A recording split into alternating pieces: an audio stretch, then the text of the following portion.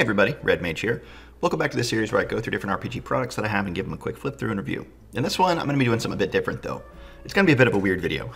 With the Dolmenwood books now being released, the PDFs being released, and available to everybody, or to most people, the backers at least, um, and the rest of it all coming out soon, I thought I might do a little bit of a video where I go through different um, supplements, adventures, things like that, settings, that I think would be really, really good to combine with a Dolmenwood game or that you could read and use for inspiration for a Dolmenwood campaign. Whatever. Like just stuff to add into the Dolmenwood world. Things that have a similar vibe or a close vibe or a complementary vibe. Things like Into the Wyrd and Wild, which by no means ha have a it doesn't have a complete overlap with Dolmenwood. Don't not at all. But there's a certain weirdness and whimsy in Dolmenwood that and, and a darkness at times that fits with some of the tone of this book. Now, I'm not going to go through the whole thing. I have reviews of almost every one of these books that I'm going to be going through. You guys can go back and check them out.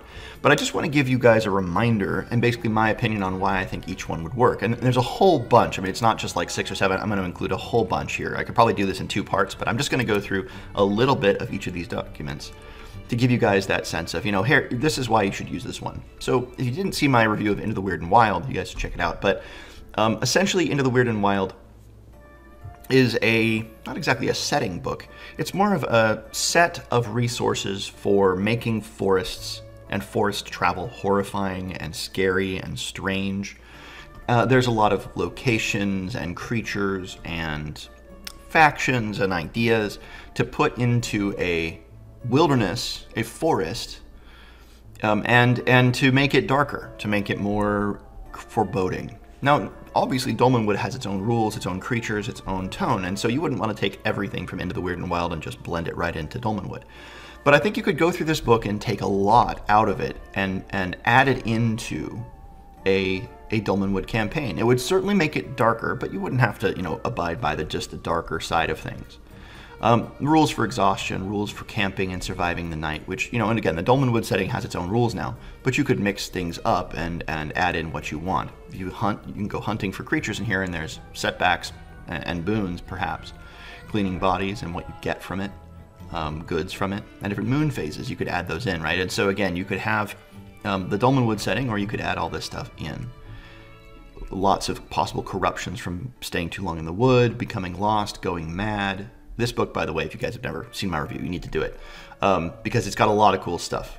The creatures, the Aliper, uh, the Arcanis Arachne, uh, the Bauek. And again, you could just add these creatures in blight motes into particular parts of Dolmenwood or particular things. Bramble Beast, Briar Scoffs, uh, the Cacophonous Crowman, right? I mean, so there's this could be like the Glooms almost from uh, the Cherubs, Children of the Woods. Anyway, you get the point. Lots and lots of cool things here that you could put into your game. And again, I'm not going to go through the whole thing. This is 248 pages, but uh, I'm gonna I'm gonna scroll ahead to um, the locations really quickly uh, because there's a whole bunch. There's also a bunch of spells in here. But then there's this this way of thinking about the forest as a dungeon, which is really cool. And then there are locations within that quote unquote dungeon that you could add in, and you could easily add them into hexes. First of all, there's a bunch of flora, um, diseases, hazards and traps. Um, but then, uh, there's a good I search the body table. Walk through the woods. Uh, here we go, 100 weird locations. You could easily take these, the bathing pools, the Bauek Hive, the Bliss Fields, Cairn of the First Hunters, the Exiles Camp, the Deciduous Growth, the Dwelling of the Scroll Man, Fruit Trees of Rotten Truth, the Fungal Carpet. And you could add this in to any of the different uh, hexes in Dolmenwood, maybe if the players are passing through, but they're not going to the, the main thing in that hex you add one of these into that hex if anything stands out to you. You fill up the least, the less interesting hexes, or swap out less interesting hexes in Dolmenwood with these. Anyway, I think you guys should check out Into the Wyrd and Wild. If you haven't already, I would consider running it alongside Dolmenwood, or at least think about mixing in some of these ideas. Okay, the next one I wanted to mention is Fungi of the Far Realms. This just recently was released. This is the second edition, I believe. The first one was out years ago. But this one is a 280 page book of random, weird, made up fungi, which would fit perfectly for a Dolmenwood campaign, which already has a whole bunch of cool fungus and a whole bunch of cool fungi, I should say, and, and, and lots of different cool properties and things that each one is made of. This book is essentially just that, but 200 and some pages of of, of that 223 pages, just about 221 pages of fungi with pictures, illustrations. There's uh, D666 tables to find them randomly. And then I'm just going to skip forward. It's kind of also a cool book because you could give it to your players as an in world artifact because it's written like in persona, a guy in the world. And so you could have the players actually get this book and then they would have that book, or at least you could copy out whole sections of it and give it to them that way. So here we go the adversary, the agaric rex, the almost invisible trumpet, the Eliambus, the ambush fungus, the angel's wing. This is a good one. I'm going to read this one. Uh, found, it's found in particular locations on this die drop table, or a kind of a map that you could use as a die drop table, a hex map. Symbiotic relationship with Douglas fir, growing from the living bark of the tallest and most resplendent trees. That's its habitat. Its appearance is a lateral stem connected to a pointed cap. White with light gray scales. Wood cut from a tree with angels' wings fungus growing on it is considered holy and is used to make altars and other religious paraphernalia. The flavor and mouthfeel is sweet and vanilla, and the aroma is similar and subtle. You have the ant fortress, the anti-pope, the aquatic chanterelle, the aurora bracket, the azuzu, the babel fruit. This is a good one. Small bullet with a pump, a plump orange cap and a hardy stem. Not a fruit, obviously, but consuming this remarkable fungus enables the ingester to understand all languages for a short time. If one becomes too reliant on the babel fruit's translation power, the brain can permanently lose the ability to comprehend any languages without it. Its flavor is extremely spicy, and it, the aroma is exotic spices. And it grows on cypresses or near cypresses. That is so cool right? So all of these, and again, there's just hundreds and hundreds and hundreds and hundreds and hundreds of these, and they grow in different weird places, and they have weird uh, habitats, and they have weird appearances, and they do weird things, and there's cool illustrations of them, and great descriptions. This is just a fantastic book. I'm so, so, so glad I got this um, because it just helps you understand. I mean, you can just add these into any game, but in particular, you could add them into a Dolmenwood game, and I think it would be ex- just excellent. And again, just hundreds and hundreds and hundreds and hundreds and hundreds of these things. So good. Fungi of the Far Realms. Highly recommend you guys check this book out, and I highly recommend that if you're going to add a Dolmenwood campaign, you get this and add them right in. Okay, those are the two kind of very broad books.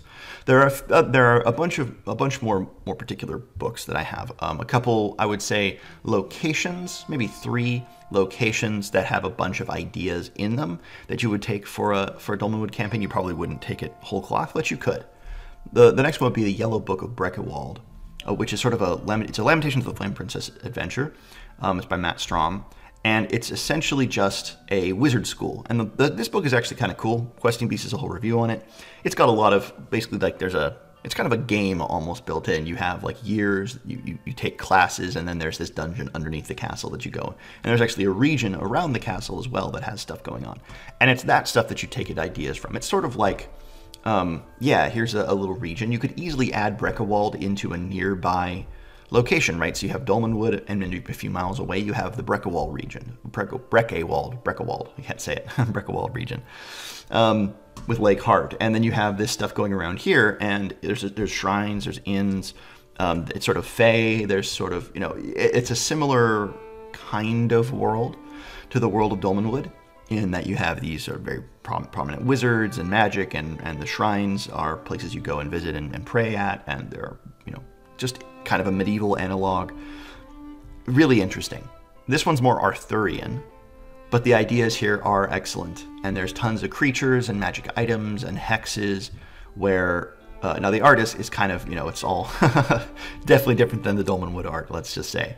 Um, but it's great. You have great characters, great um, connections to things. You could this would be a place where you come and and uh, get get quests from back in Dolmenwood, or maybe this is a place where other adventures are happening. Right? If you want to if you want a Dolmenwood to be part of a bigger region, this is another nearby region, and so you could have a couple nearby, um, you know, interconnecting places. So if, if the you know, I kind of think of it like if you're playing The Witcher, for example, and you play through the whole main game, then you get Blood and Wine uh, you go to uh, Toussaint, is that what it is? I actually forget where you go. That's what it's called. But it's an entirely new region connected to the first, but entirely new and very related and and and, and all that. But it's, it's it's it's totally new. You could do something like that with this one, um, where you're going back and forth between the castle and the region around it, and then going back to Dolmenwood and things like that. So I highly recommend you guys check out a Questing Beasts review on this. I'll put a link below to it. The Yellow Book of Breckenwald. It's a good one, and the the adventure as a whole is is really cool, but it's a great tonal fit, I think, for Dolmenwood. The next one is something that I've recently reviewed, and that's the Sorcerer's Enclave. I'm not going to go through the whole thing again in detail, um, but you guys can check out the review that I just recently did on it. The art is brilliant and it fits so well with the Dolmenwood campaign. Uh, the ideas here are really good. The kind of magic you're talking about would fit right into a Dolmenwood game. Maybe you have an, a wizard's tower or a wizard school within Dolmenwood. You just put it in a hex and it's the Sorcerer's Enclave. Maybe it's in one of the cities. Maybe it's just outside um, you know, again, to the north, across the, the wastes north of, of Dolmenwood, or whatever it is, you put it in the world and it's a place the players can go. Maybe there's reasons for them to go there. So similar to the Yellow Book of Breckelwald, you now have a sort of wizard's academy or wizard's school, wizard's, you know, um, sanctum nearby in the world. I think that would be really, really cool. Okay, the next things that I have are basically just a bunch of adventures or ideas that connect. So the Forest of Doors, which is something that I've connected to before, I've talked about before. This is a great adventure. Essentially, it's more of an idea than a series of adventures. Uh, but the Forest of Doors is essentially this idea that it's a little bit like mirrors in Jonathan Strange and Mr. Norrell, how all of them connect. Well, the idea is there's this forest of doors. And uh, if you know the right spells, you know the right incantations, you can tap on the door and it'll open and you can go right in that's a really cool idea and you'll, you'll be in this series of rooms that all are different and they're differently arranged and you can find your way basically into any door anywhere in the world if you know the right path through the forest of doors because it connects to every door so it's a really cool idea um, i highly recommend you guys check out the forest of doors as well there's the horrendous hounds of Hendenburgh. I think this would be a great setting. Again, you put it into a nearby region. The forest of Hendenburgh um, is nearby and or rather the area around Hendenburgh, the Cryptwood. You can put the Cryptwood in a nearby region, right? So you have, let's see if I can find a, a map of the, the, hex map. Here you go. It's a pretty cool hex map. You could fit this into somewhere near Dolmenwood, right? Maybe to the west or to the south or to the east of Dolmenwood, there is the Cryptwood. And it's another nearby location. So if you, I mean, Dolmenwood, don't get me wrong, there's tons of stuff to do in Dolmenwood. And I don't recommend, by the way, that you take all of these things that I'm suggesting and cram them all into the world. You could. I probably will, because I'm crazy like that. But but what I would suggest is taking the ones that interest you, and, and these are all tonal fits, I think, to the Dolmenwood world, world, or at least they are close enough that a little bit of adaptation would get you into the Dolmenwood world. And so I think the Cryptwood, the Horrendous Hounds of Hendenburgh, is a great one. And again, tonal fit, you put it into the world nearby somewhere, and it's right there. The Black Wyrm of Brandonsford, another great example. Um, this one is just, I mean, I think asking to be connected to Dolmenwood. And it's what I like about it is that the names of things are pretty generic, but you're dealing with things like the Fae, giants, witches, goblins, dragons, dwarves. I mean, it's it's it's within the Dolmenwood um, milieu, if you will. Uh, you put it nearby. Maybe it's just a town on the very edge of Dolmenwood. Maybe you rework the map a little bit and add Brandonsford in somewhere nearby. Um, in my mind, I have this sort of region that's being developed with all of these different towns and forests and fae connections, and and uh, and it's actually, and I'm, I'm mixing up some of them together into the same maps in my mind, and I think I'm going to do that. Dolmenwood, I think I'll leave the same, but I'll put a nearby region, maybe just to the south of Dolmenwood or to the west of Dolmenwood, with, with a bunch of these towns and forests and mountains and things, and and you'll have a slightly different world. But anyway, I think this is a great one to connect. A lot of people know this one anyway. A lot of people like this one anyway, and I think it would fit really, really easily in tone with Dolmenwood. Nightmare over Ragged Hollow. This one's also very good. Maybe a little bit less of a tonal fit, but what you're doing in the forest in the surrounding region around Ragged Hollow, in the hexes around it, is very, very good. And again, you guys, I've reviewed this, so I'm not going to go through here again in detail. But the Nightmare over Ragged Hollow would be a great connection. I'm just clicking ahead to the to the hexes, basically. The Gloamwood. Yeah, the Gloamwood, you're dealing with goblin a goblin market, you're dealing with, you know, foresters, trolls under bridges, weird things happening in the forest. Um, the goblin market is what draws my mind there, of course. And um, it's just a great setting. It would work really, really well with a nearby region. You put in uh, Nightmare over Ragged Hollow, and the players can go back to Ragged Hollow. Maybe they start there. Maybe they, maybe it's just a region that's nearby, and if the players hear rumors about it, they want to go that way, right? The idea, I don't tend to lock players into a region. I tend to provide a region and lots of stuff to do, but if, but if they're really interested in leaving, I don't say, well, guys, we're, we're kind of playing in Dolmenwood. You got to go back to Dolmenwood. I try to open things up. So if players are like, yeah, we started as a Dolmenwood campaign, but now we're going over to Ragged Hollow. Okay, great. I open that up. So that's that's kind of how I run games. So I tend to think of the surrounding region, and I and I and that's why I like seeding pre-made adventures in all those places because that's way that way if the players do go to those places, I have fun, you know, fitting the puzzle pieces together initially and saying, oh yeah, Ragged Hollow will be over here. Oh yeah, Branded will be over there. Oh yeah, Breckelwald will be over here. And then when the players then go that direction or find the rumor that leads them there, I don't have to scramble and do a bunch of work and say, okay, how does this fit? I've done the initial groundwork and then I have all of these books laid out. So I don't have to worry about going back through.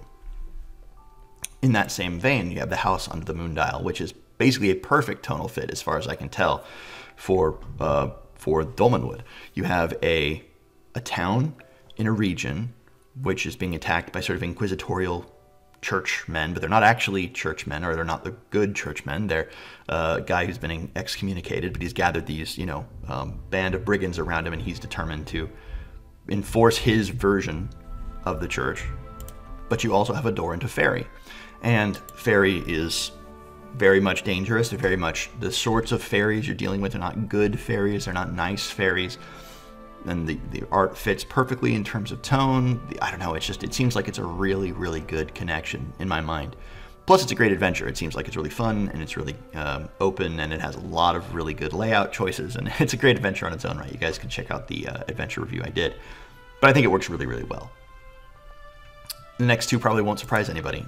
The Hole in the Oak and Incandescent Grottos, both by Gavin Norman, both for old school essentials, both dungeon crawls that are very, very kind of localized, but the ideas here again are very, very good. You have fauns, you have gnomes, you have um, weird creatures, troglodytes, ghouls, spiders. Um, but it's all within that realm of whimsy and ridiculousness. Yes, you have an ooze cult, but that makes sense. You could do that easily in a Dolmenwood game.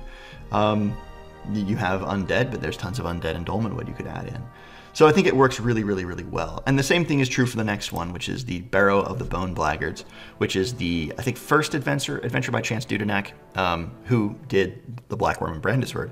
Um, it's the first adventure in the, I think it's the, what is it, second? Yeah, the second adventure anthology for Old School Essentials. The Barrow of the Bone Blackguards. Again, I've, I've gone through it before, so I won't go through it here again, but it's just so good. And it fits very, very well. You've got a fairy who's been, um, you know, ticked off. You've got a, a, barrow which has been taken over by these funny undead bandits.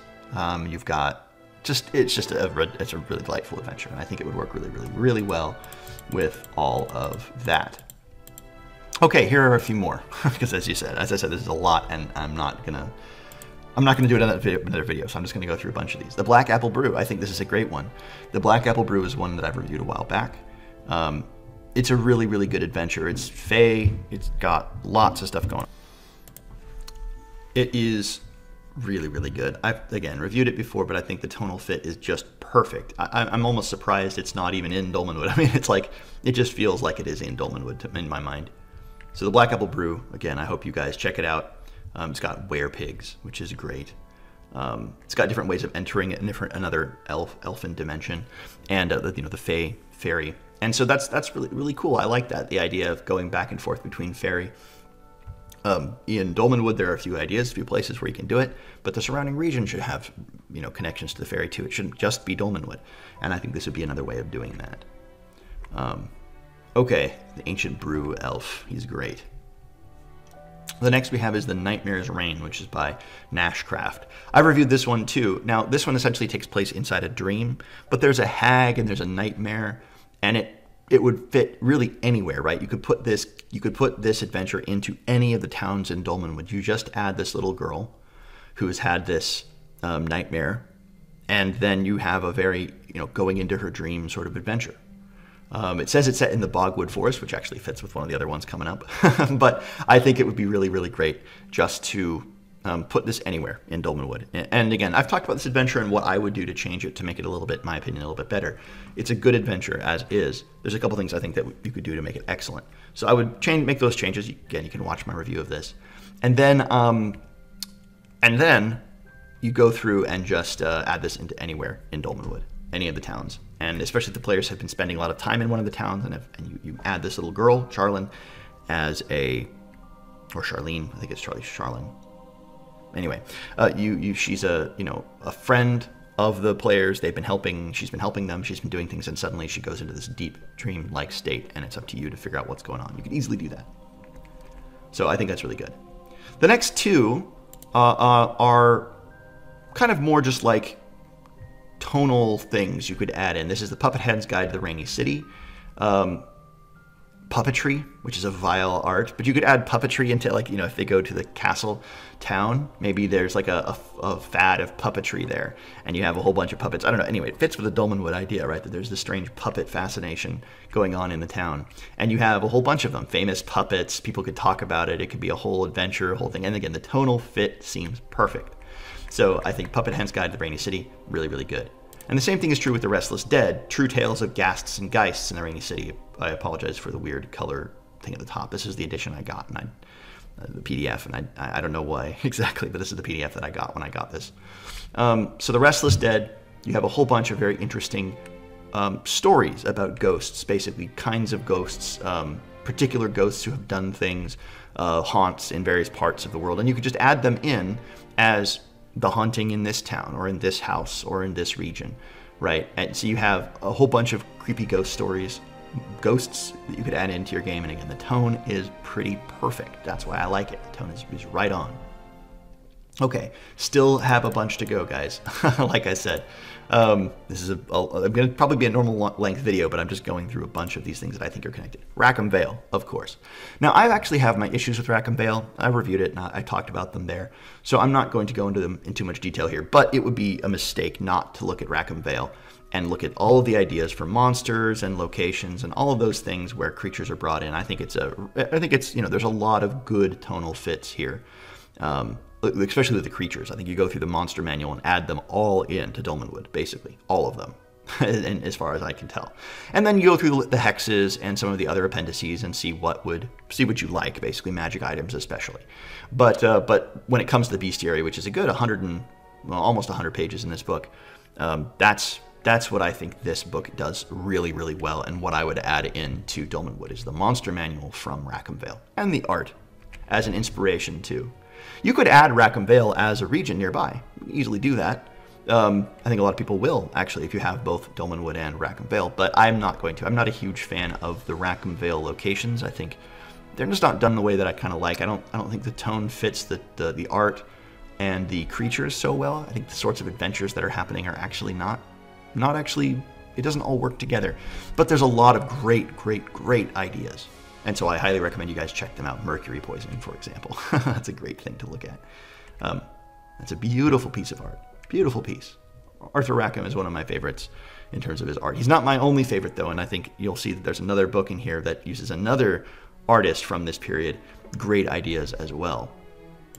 Okay, the next one is Castle Xyntillan. This is one that I would pretty much just put into the world as a location. Again, is it perfect in terms of its tone? No, because there's not really fairies here. But Castle Xyntillan is a great, you might say, human side of Dolmenwood. The sorts of magic you deal with, the sorts of creatures you're dealing with, the sorts of funny humor you're dealing with.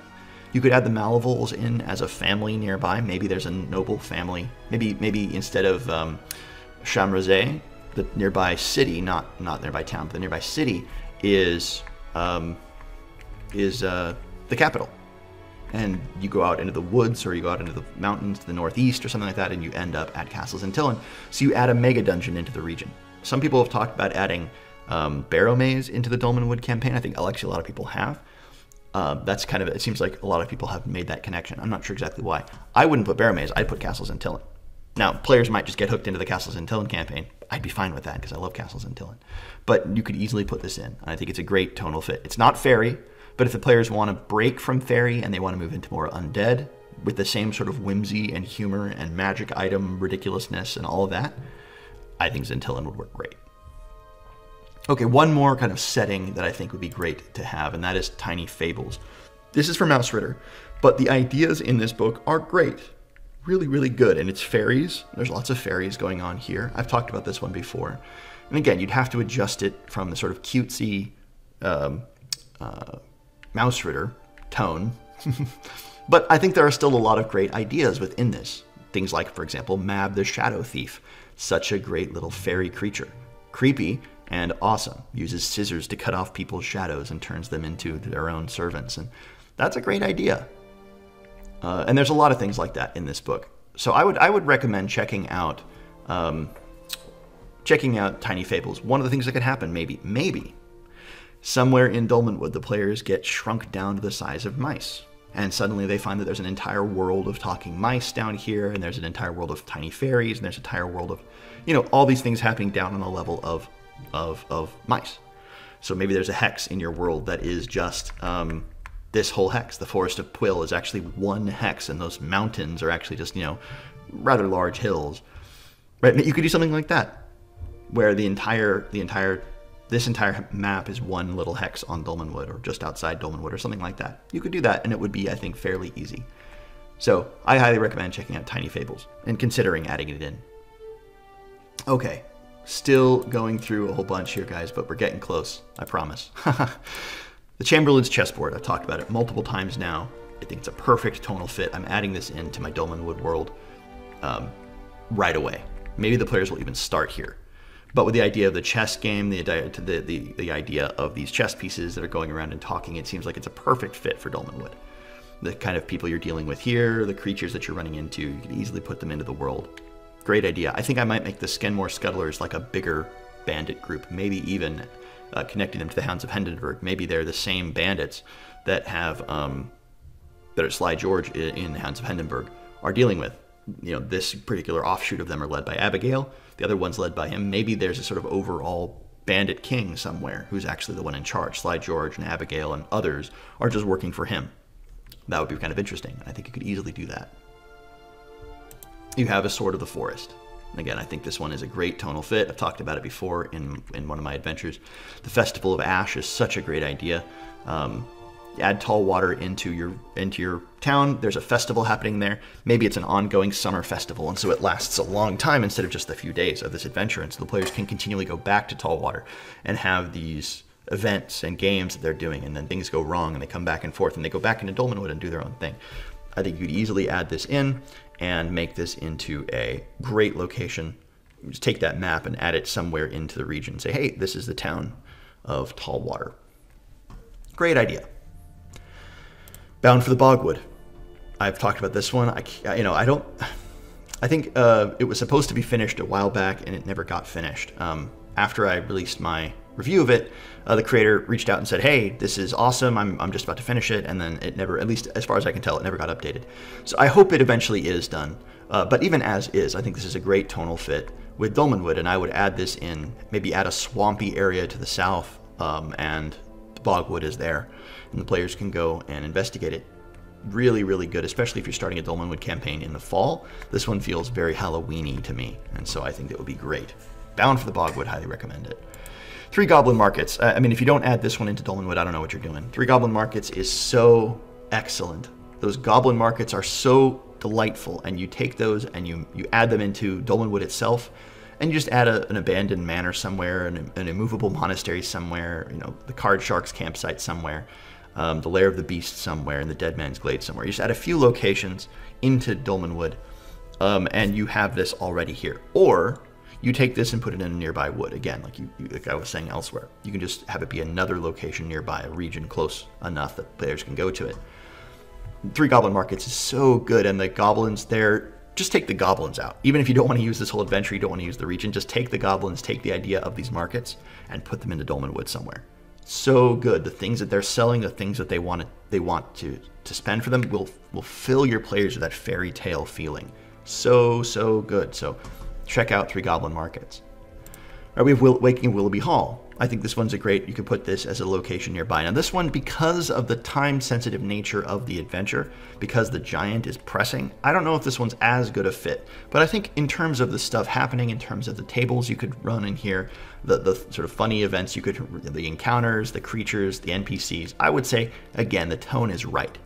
So take some of these ideas, put them into the world. Maybe you don't have this adventure in the world. Maybe there's no giant necessarily. But I think it would be great to do. You know, on this note, I was thinking the other day, no one's done a really good, as far as I can tell, Jack and the Beanstalk adventure. I've never seen one. Never seen a good one. I've seen people try, but I've never seen a good one. I don't know why no one's done that. It seems like such a good idea, right? uh, you have a Cloud Giant's castle, massive compared to the players.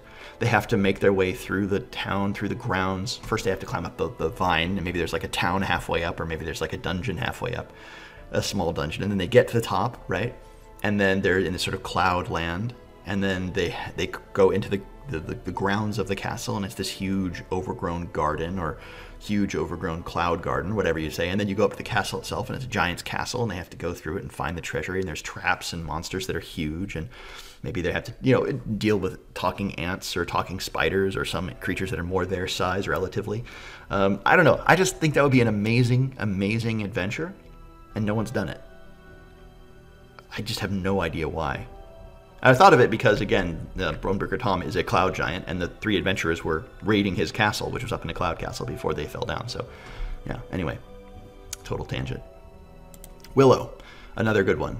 Willow is one that I've reviewed before. You guys should check it out. It's really funny. There's a town that's really depressed. There's all this stuff happening in the wood, but it's a great, um, it's a great forest that you could use. Again, it's a great region. You could put it as, an, as a hex, you have the forest hex crawl here, but you could easily put these locations into Dolmenwood or again have a nearby forest. That's what I'm saying really again. As, as I go through, I'm not pointing out that you guys should add all of these in, otherwise you're going to have like 50 little forests all near to Dolmenwood, all with their own town and weird thing happening, right? But take a few and blend them together, the ones that stand out to you, the ones that make sense. And I think you'll have a very good region around Dolmenwood. Again, similar tonal fit, or put it into Dolmenwood itself the Haunted Hamlet, and other hexes. Similarly, just a bunch of good locations, a bunch of things you can add into your world that have a sort of tonal, I think, vibe that works. Works really well. And one of the things I, I don't have on here, by the way, guys, is um, Neverland, the 5e micro or the 5e setting. Um, I think that's a, a, fantastic book for this too, for Dolmenwood, because of the fairy section. There's an entire section in that book on the land of fairy and on locations there and also creatures. So I highly recommend you guys check that out. I really should have added that in, in fact. Um, yeah. Uh, Haunted Hamlet. Ford's Fairies. This is another one that I talked about before. I've reviewed this. This is a great bestiary inspired by the works, the artwork of Henry Justice Ford. And it's got a bunch of really cool art pieces and monsters that work with this sort of fairy tale vibe like uh, Azudem uh, the Aurora Child, the Black Pig. Black pigs are creatures enchanted by certain wood witches to care for their hovels and cook for them. Many adventurers, upon stumbling into a wood witch residence, are confounded to discover a pig in an apron, scurrying about cooking and cleaning. The pigs are intelligent but unable to communicate. However, they are obliged to be good hosts, effectively providing refreshments and preparing a meal for the uninvited guests. Many visitors are taken aback by this sorcery, but woe be to any who may kill a treasured black pig. All in the party will likely be cursed, and whoever dealt the killing blow will soon wake up in a porcine body wearing an apron. That's so good. Or the witch comes on board. The boarding witch. The Boogle The cabinet of the keeper. The cabinet of the Justicar. The uninvited fairy. The Carcinos. The chambermaid. A type of fairy native to all manner of pots, jars, and assorted earthenware containers. A chambermaiden typically takes the form of a beautiful woman a foot tall, wearing a gown of white, blue, or butterfly wing. Generally friendly, but very protective of her pots and the contents thereof. Chambermaidens greatly enjoy riddles and games, and so ask visitors to bring them obscure and obfuscated items for their help. What does the chambermaid desire? A befriended chambermaid can provide information about the dungeon, adjacent wilderness locations, enchantments, or local monsters, and may even share the contents of her pot. Breaking a chambermaiden's pot releases all of its contents at once and produces one very angry chambermaid. Curses will fly. so good. So I highly recommend you guys check this one out too. This is one that uh, is free. You guys can find this on DTRPG. I'll put the links below to wherever you can get all of these. The next is the Beastie Almanac, Volume 1. This is Vindel the Vagabond's Beastly Almanac. This is much shorter. I really like this one. It has just a series of short monsters that all fit in tone with some funny, um, again, some funny Dolmenwood stuff. You could you could imagine uh, Vindel the Vagabond wandering around Dolmenwood taking notes of the group of creatures he finds, like the Nettlehawks, the Dughors, the Norwogs, the Shrouded Watchers, the Pylops, right? Uh, what are these? I do not know. They are best to be avoided. You could even hand the players like pages from this and be like, yeah, you find this book with a bunch of these weird drawings. And this guy's like, yeah, no, these are real. And maybe they are, maybe they aren't. But I think Beastie Almanac Volume 1, I think it's a great little book you could add into the world. Vaesen, Spirits and Monsters of Mythic Ukraine. This is one that I've talked about before. It's a Free League Workshop book. This is another monster manual. It's pay what you want where the creatures in it are so flavorful and it's much more Witcher-esque in that there are ways besides fighting them that deal with them. There are ways you can fight them, and the stats you'd have to adjust to any OSR game because they're particular to Vaesen. But the ideas here are so good for creatures to add into your world, for fairy-ish creatures, folktale creatures. I highly recommend you guys check these this out.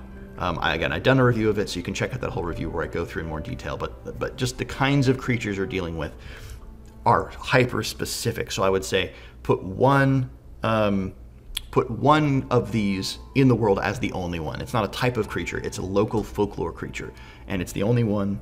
The players have to deal with it, learn how to deal with it, and then move on. Maybe there are a handful of them. Maybe they can go and do some research about this kind of thing, but make it more like The Witcher in that regard. I think it would really, really work. Two more. Forgotten Rites of the Moldering Dead, a source book for the dead and undead. I think this is a great book if you're going to add in undead into Dolmenwood, which, you know, kind of makes sense. There's some there's some undead uh, vibe here. Easily have some some creepiness going on. And I think this is a great book for making your undead not just normal boring. If you're going to put undead into Dolmenwood, you got to make them interesting.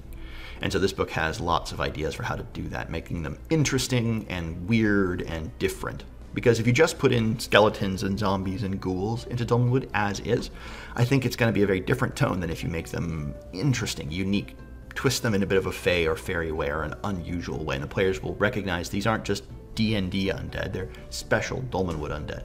So a book like this will really help you do that. And then finally, a Book of Beasts, which is 56 monsters for Dungeon World, but again, you could use it for any game if you're using any game in the Dolmenwood campaign. And and the creatures in here are why I think you pick this, because they're all unique and weird. The incessants, the white cat of 100 paws, the final crane, mouth that goes on legs, the fell burr, the tusker, the rime drake, the angel of ice, the flurry worm, the snow creeper, the ravenborn, um, or Cavenborn, I think it's R, Ravenborn, the Shale Sentinel, the Frostbiter, the Owl Bat, the Lure Light, Demon's Eye, Prayer Sparrow. That's so good, the Prayer Sparrow, the House Hopper. And again, you have these creatures in there, you put them in the world, a monster manual for Dolmenwood, you, you add them into the additional, you know, on top of the monsters that Dolmenwood gives you, and Dolmenwood will be full of weird creatures their players have never encountered before in any other D&D game, which is exactly what you want. All right, so that was everything. That was all of the, of the different supplements that I was going to go through that I think would fit really, really well with Dolmenwood. If you guys know of any more, I don't usually do this, but I say put them in the comments because um, this is the sort of thing where I want to learn more. I want to know as I want to I want to get more books that deal with Dolmenwood. And I, again, I, I'm stupid. I'm probably going to add all of these into my world. I'll probably spend like six months before the books come out, the physical books come out, building a whole world using these locations and trying to blend them together as best I can and adding in creatures, creating my own bestiary with all of these monsters. I think I'm going to do it for Shadowdark probably, because that's the system that I know. Um, I might do it for Old School Essentials or for the Dolmenwood system. We'll see. But, um, yeah, I am really excited, and I'm going to put all these books together. So if you guys know of any more, please let me know. All right, that's it, guys. I hope this has been interesting to you all, and I'll see you all in another video.